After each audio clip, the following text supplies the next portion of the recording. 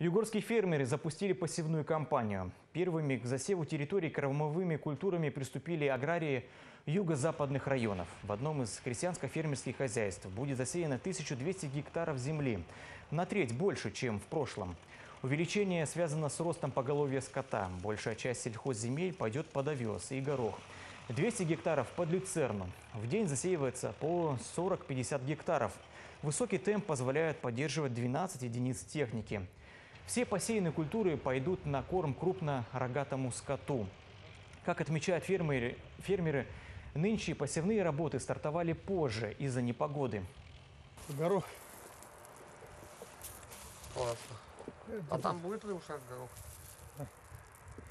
Обязательно.